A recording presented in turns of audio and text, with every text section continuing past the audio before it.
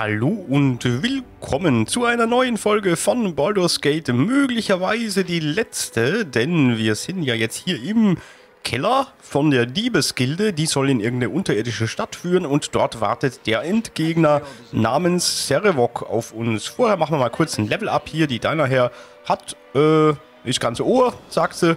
Stufe erhöhen, da gibt es glaube ich jetzt nicht viel zu verteilen. Ja, ein bisschen neue Zauber, bla bla bla. Einverstanden, ja, ja, habe ich nichts dagegen. Bin ich völlig einverstanden, wenn die dann mehr zaubern kann. Äh, was macht man denn da? Ähm, Monster herbeirufen. Monster, Monster herbeirufen. Und, äh, Otilukes elastische Kugel. Otilukes Gummiball. Ach, das ist dieses, ja, ich weiß schon, da schließt man einen Gegner ein und dann kann er nichts machen. Und man kann aber auch nicht angreifen währenddessen. Das heißt, man kann einen Gegner in dem Kampf sozusagen absondern mit diesem Zauberspruch. Naja, kann man machen, muss man jetzt nicht. Ah, weißt du was, hast, wenn wir auch noch dazu nehmen. Bist du was, hast du was. Aha, aha, ha, ha. Magie bannen wäre vielleicht auch eine Idee, aber, ja, äh, äh, äh, hm, nee, hm, nee. Nee, nee, nee, nee. So. Ja, dieser unterirdische Keller, da werden wir jetzt gleich mal drauf losstürmen. Da gibt es einige Fallen. Allerdings, soweit ich mich erinnern kann, kommen die erst relativ weit am Ende. Trotzdem werde ich die Quicksave-Taste ausgiebig benutzen. Das ist hier so ein bisschen so labyrinthmäßig angelegt. Ähm, sieht man hier, es gibt auch so Sackgassen hier. Das sind die hier und, äh, ja, und, oh, ein Monster. Hallo, grüner Schleim. Tschüss, grüner Schleim. Hallo, anderer grüner Schleim. Tschüss, anderer grüner Schleim. Tschüss, äh, nee, hallo, Ockergallert. Ockergallert, wie sich das schon anhört. Ocker. Haut mich voll vom Ocker. Der Schleim hier, der Gallert. Jetzt ist er tot. Ja, die Fallen, die sind hier immer so angekündigt durch, durch so Zeichen an der Wand. Man muss also nur die, die, die Writing on the Wall muss man lesen können und dann, äh, ja, dann weiß man, wo eine Falle ist. Es gibt, glaube ich, ein, zwei Ausnahmen, aber hier am Anfang sollten einfach noch gar keine sein. Grünschleim unverletzt, das werden wir gleich mal ändern hier. Grünschleim schwer verletzt, Grünschleim nee, leicht, okay. Verletzt, Alter. Gerade eben ging das noch mit einem Schlag und jetzt müssen wir da hier so rumdingsen. Ja, Grünschleim, Magiewiderstand. Ach so, das ist jetzt wegen... Oh, da verballern wir jetzt sinnlos unsere Pfeile, glaube ich. Das ist auch nicht so der Hit. Also ist eben kein Hit, kein Treffer. So, bitte hier verstecken hinter der Wand. Dann müsst ihr auch nicht sinnlos eure Pfeile hier reinballern. Sind aber eh normale, oder? Bask. Das war der Minsk gerade. Ähm, ja, wir wollen nämlich eh dann erst bei den schwierigeren Gegnern, sprich Cerebok und Kompanie, dann umrüsten auf die besseren Pfeile, auf die Gift und Super und Feuer und weiß nicht was alles Pfeile eben. Gibt es auch noch die Pfeil, Pfeile der Durchbohrung. So haben wir von denen eigentlich so wenig. Ich dachte, von denen hätten wir mehr gekauft. Pfeil des Zauberbruchs. Ja, das ist okay. Pfeil des Zauberbruchs ist okay, aber war nicht noch mehr Pfeile der Durchbohrung oder haben wir die bei jemand anderem gelagert hier? Nee, hier gibt es jede Menge Schriftrollen und Sarevox Tagebuch. Das wollten die gar nicht da. Die, da haben sie groß geredet, die beiden Herzöge da, der Belt und die Li, Li, Lili Lia oder wie die hieß. Und hey, du hast das Tagebuch von Sarevox, super. Ähm, behalt's lieber mal. So ungefähr. Ja. Ja, hier sind halt einige Schleime. Hat uns diese Voletta Stiletto oder wie die hier hieß, die hier rumliegt. Oder Stiletta Voletto. Ähm, die hat uns da schon vorgewarnt und die flirten da gerade miteinander. Ja, übrigens hat mich ja jemand gefragt, hey, was ist denn, du könntest doch, ach, schon wieder so ein Schleim, ein Grauschlick. Ein Grauschlick, wie sich das schon anhört. Wie ein Nachname. Herr Grauschlick. Hört sich wie grauslich an, nur ein bisschen anders. So, okay, der ist Geschichte hier. Ich weiß gar nicht, wie, wie da gibt es nämlich so verschiedene Arten von Schleim. Einige davon sind ziemlich, ja, ziemlich schwierig zu besiegen. Aber ich glaube bis jetzt zumindest, also entweder sind wir schon wahnsinnig stark oder, oder das waren hier jetzt nicht so die super, hyper harten Schleime, die wir da jetzt äh, erledigt haben. Ach, ah, jetzt kommen aber die schwierigen gegen eine Schicksalswache. Die wird gleich ihr Schicksal kennenlernen. Ach, da kommt noch eine. Ähm, Schicksalswache und die hier heißt auch Schicksalswache. Okay. Na gut. Ähm, kritischer Fehlschlag, kritischer Fehlschlag. Äh, Unverletzte, äh, ähm... Ah ja, okay, jetzt hat er mal einen Treffer gelandet, leicht verletzt. Ja, ich würde sagen, wir setzen Magie ein. Stand back while I try the power of magic. Hui. Die, die sind nämlich durchaus jetzt nicht ähm, gegen jede Art von Schaden immun. Ah, oh, oh, gegen Pfeile sind sie immun. Dann hauen wir mal hier lieber ab, bevor wir die Pfeile sinnlos ver verplempern. Äh, ja, also nochmal Magie drauf casten, dann dürfte das mit dem Schicksal auch Geschichte sein. Zack, zack, dem Tode nahe. Trefft doch auch mal. Die sind so schwer zu treffen, das ist das Hauptproblem. Ja, jetzt bin ich unterbrochen worden. Ich wollte gerade noch was erzählen. Oh, das, das ist toll. Jetzt haben wir uns auf die, auf die gestorbene Schicksalswache drauf gecastet. Okay, machen wir nochmal. Machen wir mal diesen anderen hier, die, die Farbkugel. Damit das Leben ein bisschen bunter wird. Leicht verletzt. Und ein bisschen verletzter. Ja, bin ich unterbrochen worden. Ähm, durch diese Schicksalsdinger da. Das Schicksal hat mir einen schweren Schock beschert. Nee, übrigens 2000 Erfahrungspunkte ist auch nicht von schlechten Eltern. Ja, die Sache ist nämlich die, da hat mich jemand gefragt, hey, wäre doch cool, wenn du noch Durlax Turm machen würdest, zumindest die oberen Stockwerke, bevor du hier den Serevok killst. Aber ich muss dir sagen, es ist ganz eilig, wir müssen doch den Serevok ganz schnell zur Strecke bringen, haben sie uns doch alle gesagt in der Stadt. Wenn wir es nicht machen, dann wird er, weiß nicht, ganz schreckliche Dinge tun, zum Beispiel gähnen oder so. Und das wollen wir natürlich nicht. Und deswegen müssen wir den ja ganz schnell äh, nachverfolgen hier. Am besten noch gestern. Ja, und rollenspieltechnisch bin ich natürlich ganz brav und mache das auch, aber ähm, ich müsste es natürlich nicht, da hat er schon recht. Denn ähm, das ist so eine Sache hier, das ist irgendwie, und hier fangen, glaube ich, jetzt die Fallen an. Da müssen wir uns jetzt langsam vortasten und am besten hier Fallensuchmodus aktivieren. Ähm, wir könnten jetzt theoretisch praktisch auch bis zum Serevok gehen. Also, da müssen wir hier noch durch zwei so Karten durch, durch so ein Labyrinth und dann durch so einen Friedhof äh, so einen unterirdischen und, ah ja, da fangen diese Symbole an, das heißt hier verfallt es dann. Ähm, ja, und dann könnte man bis zu seinem Versteck halt vordringen und dann könnte man einfach kehrt machen und äh, drei Monate Abenteuerurlaub in Durlax Turm machen. Würde niemanden stören. Ähm, das ist, ah, Falle, cool. Haben wir sie entdeckt hier? Gleich mal entschärfen. Ach du meine Güte, da ist jetzt so ein Kriegerskelett. Was ist denn bitte ein Kriegerskelett? Ah, ein Skelett, das Pfeile schießt und dabei stirb ruft. Oh, ich will nicht. Also, sterben. Ich hoffe, die kommen jetzt hierher. Ja, gut, die können wir pullen. Pullen ist immer gut. Gibt einen Ort, der heißt Oberpullendorf. Da wird am meisten gepullt, offenbar. So, Spuk wird denen, glaube ich, eher nicht, nicht besonders viel Angst einjagen. Machen wir mal diesen Eisschock da fürs Erste. Und Magiewiderstand. Na super. Okay, sind die überhaupt, können die, sind die überhaupt pfeiltechnisch? Ah, jetzt haben sie ihre Schwerter rausgezogen. Ey, was macht denn der hier? Der, der, der Korren. Mann, du, du Idiot. Ach, die sind jetzt richtig stark. Jetzt fängt es nämlich an, ein bisschen schwieriger zu werden hier. Gegnertechnisch. Ich hoffe mal, die lassen sich treffen, ein Pfeilen. Aber Magiewiderstand ist natürlich jetzt doof. Was ist, wenn man, wenn man sowas casten? Geht das dann durch oder geht ein Teil davon durch? Gar nichts. Ja, die sind wirklich hart. Verletzt immerhin hier jetzt. Die macht gar nichts, die kommen nicht ran. Dann hau halt den. Wenn du an einen nicht rankommst, dann hau halt den anderen. Schwer verletzt. Der, der Minsk ist auch nicht mehr ganz so, ganz so ganz. Hütsch, ja, super.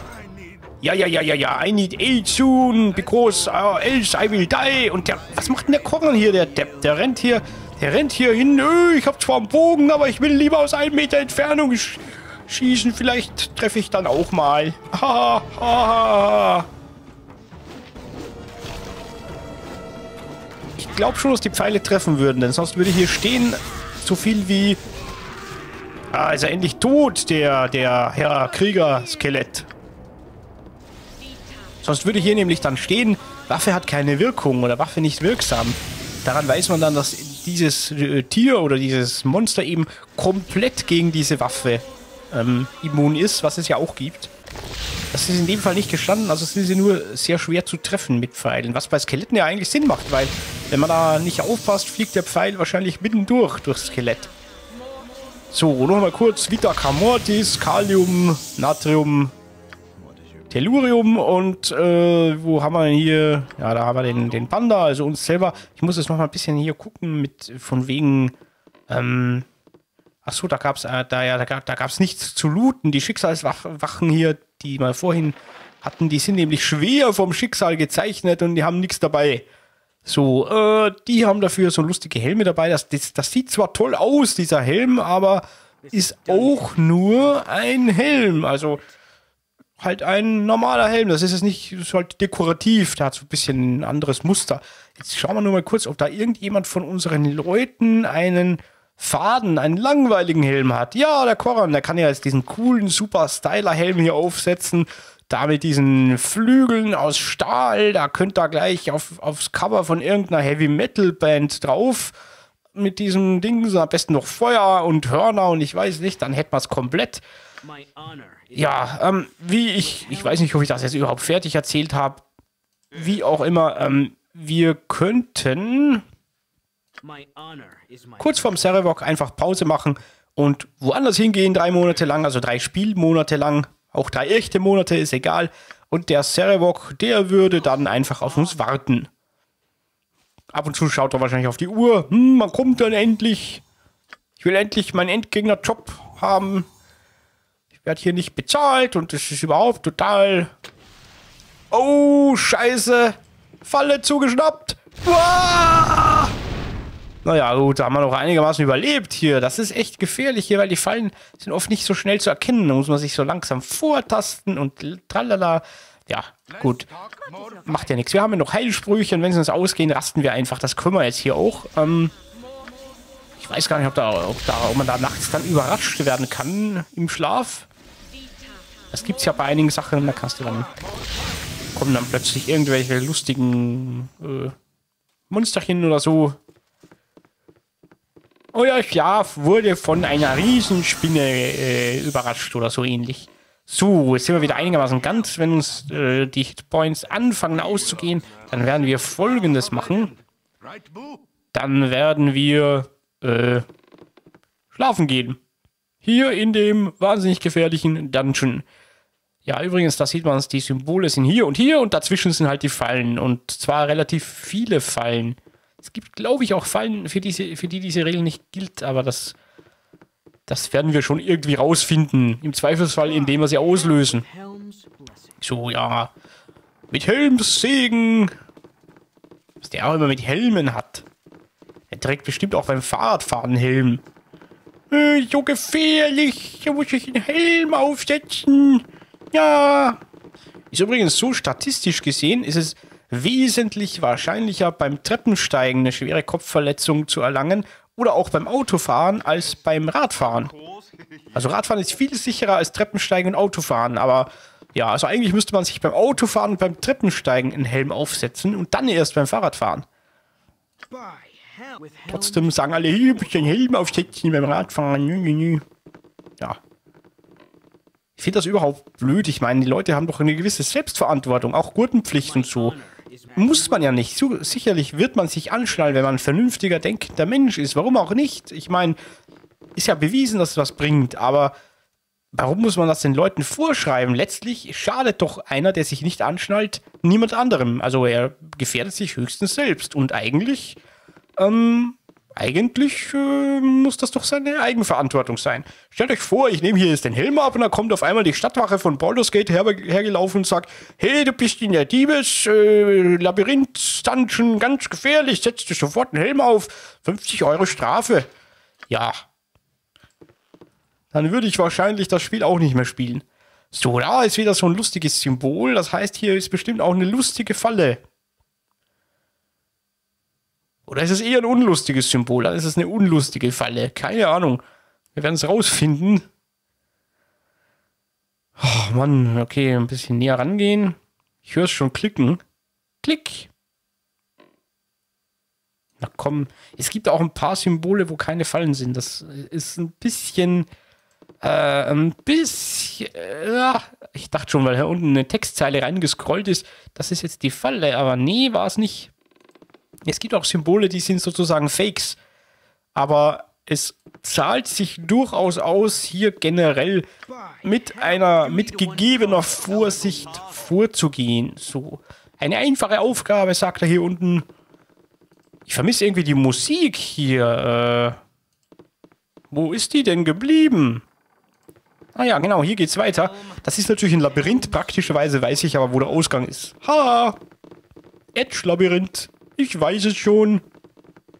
Du nicht. Die Frage, ob ein Labyrinth, wenn es, wenn es ein Bewusstsein hätte, seinen eigenen Ausgang kennen würde. So, da geht es jetzt hier ums Eck. Das weiß ich noch genau, wie das ging. Ja, ja. Hier sind bestimmt Fallen, weil hier sind zwei Symbole nebeneinander und dann ist fast immer was. Ja, ja, bei Helm. Die Teile des Labyrinths, die wir jetzt auslassen, die haben übrigens nichts Interessantes. Es ist nicht so, dass man hier irgendwas looten könnte oder so. Da ist nichts außer halt diese lustigen Schicksals-Dingsbums-Dinger da, diese Schicksalswachen, so ein paar Gegner halt so ein paar eher langweilige. Ich glaube, dass hier der Ausgang war. Ich hoffe, ich, ich habe recht. War das hier oder täusche ich mich hier total gerade? War das nicht hier hinten? Gehe jetzt vielleicht ein bisschen zu schnell hier vor, aber ich möchte nur... Oder Moment, ich schaue mal auf die Übersichtskarte, bevor ich hier total den Blödsinn mache. Ich glaube, hier oben rum kann man gehen. Aber es gibt, glaube ich, einen zweiten Weg hier unten. Moment, Quicksave und einfach mal drauf loslaufen. Okay, hier dürften wieder Fallen sein, aber... Au! Na gut, okay, das ist ja jetzt nur eine Erkundungstour. Ich möchte ja nur mal sehen, ob hier, ob es hier wirklich rumgeht oder rausgeht. Aber ich glaube, dass man hier rauskommt, weil da müsste jetzt dann gleich auch so ein Typ stehen. Vorher kommt wahrscheinlich noch eine Falle. Ja, natürlich. Und hier äh, steht nicht mehr der Typ, der, der äh, liegt, der ruht sich gerade ein bisschen aus. Ja, hier geht's raus. Es gibt aber noch einen anderen Weg, glaube ich. Man kann auch irgendwie von hier, man kann hier irgendwie so im Kreis rum und dann hier unten entlang. Bin ich mir jetzt gerade gar nicht mehr sicher. Auf jeden Fall geht's auch so. Und das machen wir jetzt, weil das ist der kürzeste Weg, vermute ich jetzt mal. Ach so, und jetzt, ja, das ist so, weil diese Format äh, Formation, die man hier unten ja auch auswählen kann, die bestimmt dann in welcher Form die sich aufstellen und wenn dann ein Teil hinter der Mauer ist, dann stellen die sich teilweise hinter die Mauer. So, ähm, ich vermisse übrigens Musik. Wo ist denn das hier? Sound. Musik. Fertig. Musik. Na komm schon. Sie ist so still in diesem komischen Dungeon hier. Das ist ja langweilig. So, das hier ist der Winsky Perorate. Und wer die letzte Folge gesehen hat, der wird wissen, dass das dieser Magier war, der den Serevok rausgeholt hat aus dem ähm, Dings da, aus dem äh, Palast der Herzöge. Und äh, sozusagen sein Komplize, offensichtlich hat der Serevok den dann aber trotzdem einfach hier äh, angestochen, sage ich jetzt mal. Der ist äh, offenbar noch am Leben. Sonst könnte ich nicht mit dem Mauszeiger drüber fahren. Ist übrigens ein guter Test, wenn man irgendwo jemanden liegen sieht. Einfach mit dem Mauszeiger drüber fahren, wenn noch ein Name erscheint und so ein Symbol, dann ist er noch am Leben. Funktioniert bestimmt auch in der Realität. So, Wilski Perorate sagt, Husten. Ach ja, dachte mir, dass ihr seid. Ist ja fast wie ein Familientreffen hier. Was? Ich wusste doch, dass ihr mir folgen würdet. Ihr beiden seid aus demselben Holz. Ihr müsst den Kampf beginnen, sonst wird er euch niederschlagen. Ja, das ist dieses ganze, hey, du musst ganz schnell zum Serevok. Ja, der wartet aber auch drei Monate, wenn wir es drauf ankommen lassen. Das würde aber auch nichts machen, denn ihr habt ihn bereits geschlagen. Seine Pläne sind verwirkt und seine Verbündeten fliehen in Scharen. Solch hehre Ziele, wenn auch niemand das wahre Verlangen dahinter erkannte. Niemand außer mir natürlich. Leider bin ich jetzt entbehrlich, aber auch das habe ich erwartet. Äh, ja, die Logik da dahinter ist mir jetzt nicht ganz klar, warum man jemandem hilft, wo man dann weiß, dass der am Ende einen umbringen wird, aber ähm, das können wir jetzt sogar fragen. Hey, wieso hast du es gemacht, wenn du wusstest, dass er dich umbringen wird? Welche Rolle ich gespielt habe? Ich war Sarevoks Mentor, das haben auch schon ein paar andere behauptet. und habe ihn in den schwärzesten Ritualen unterrichtet. Boah, Alter, schwärzeste Rituale. Wenn er Erfolg gehabt hätte, wäre ich mit Sicherheit unter den Toten, doch mein Name würde in seinen Taten weiterleben. Es gibt auch nach dem Tod noch etwas, wenn man auf die richtige Art stirbt. Und wie sollte es in der Geschichte keinen Platz für den Lehrmeister geben, der den Aufstieg des neuen Herrn des Todes gelenkt hat? Ihr würdet das nicht verstehen, nee, tun wir auch nicht. Ihr würdet für große Taten, ach so, ihr wurdet für große Taten in den Reichen geboren, echt? Das, das ist aber meine eigene Entscheidung. Wir übrigen müssen uns unseren Platz in der Welt erst mit allen Mitteln erkämpfen. Du Sozialdarwinist, du. Ja, ähm. Jetzt können wir ihn fragen, wo er sich versteckt hat. Na, hinter dieser Tür natürlich. Wo sonst? Das ist eine blöde Frage. Ähm, ja, wir wissen das eh. Was ist sein Plan? Sein Plan war eben, Krieg mit Ammen anzufangen und da würde es so viel Blutvergießen geben. War der Plan vom Sarevok eben, dass das äh, göttliche Blut in ihm, weil sein Vater ist ja so wie auch unser echter Vater, der Gott des Mordes, ähm, dass der, dass das Blut halt dann, dieses Blutvergießen, irgendwie das göttliche Blut in ihm, weiß nicht, zum Kochen bringen würde und dann würde er der neueste Gott des Mordes werden oder so. Keine Ahnung. So irgendwie hat er sich das ausgedacht. Ähm, ja, geh mir aus den Augen. Und der Winsky Perorate sagt, eure Barmherzigkeit ist bewundernswert. Ihr habt in der Tat einen anderen Weg gewählt als Sarevok. Wobei der Sarevok hat den ja auch nicht umgebracht, er hat ihn ja nur angekratzt. Obwohl ich mich frage, ob das nicht am Ende auf dasselbe hinausläuft. Lasst mich hier, denn ich bin keine Bedrohung mehr für euch oder für andere. Ich will mich hier nur eine Weile ausruhen. Ach so, der will doch nicht sterben, oder was? Tandem in extremis, was auch immer das heißen sollte.